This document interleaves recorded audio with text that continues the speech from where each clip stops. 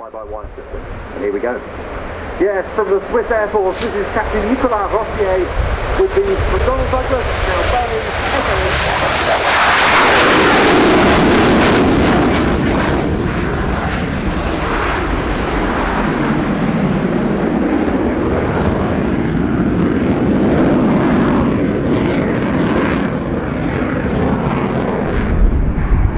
this aircraft requiring uh, 1,000 feet to the platform.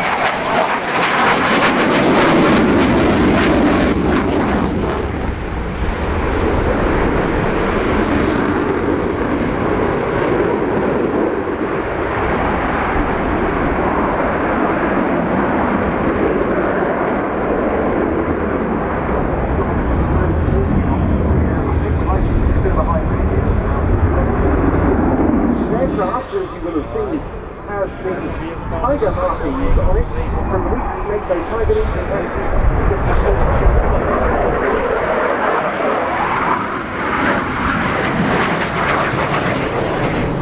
That's the Swiss Air Force unit and a member of the NATO Tiger Association.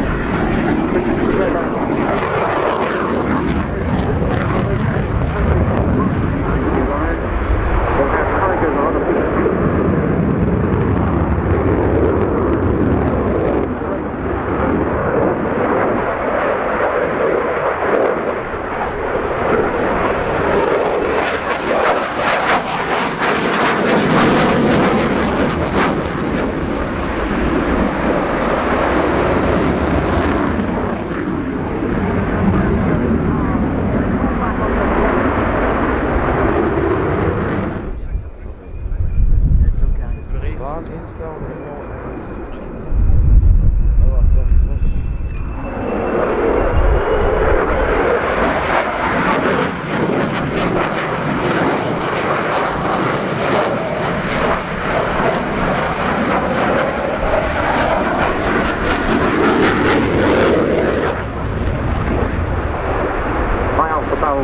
topping out to the the aircraft skidding through the air as it was rolling and pitching and yawing.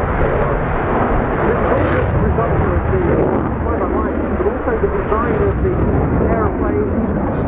Extension knots, once again going into a 30 knot headwind, so his speed over the ground is about 80 knots, or about 90 miles per hour. That is a huge level.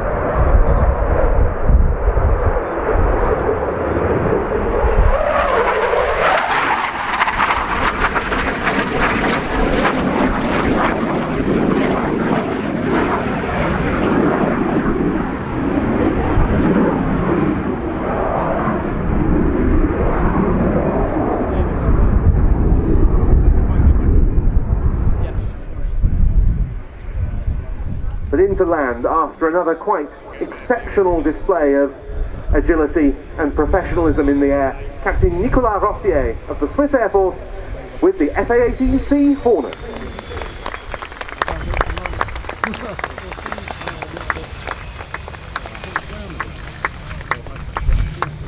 Very, very short roll out there, stopping or had the ability to stop in about three seconds. Uh, uh, wheel the aircraft uh, the enormous tail rate of the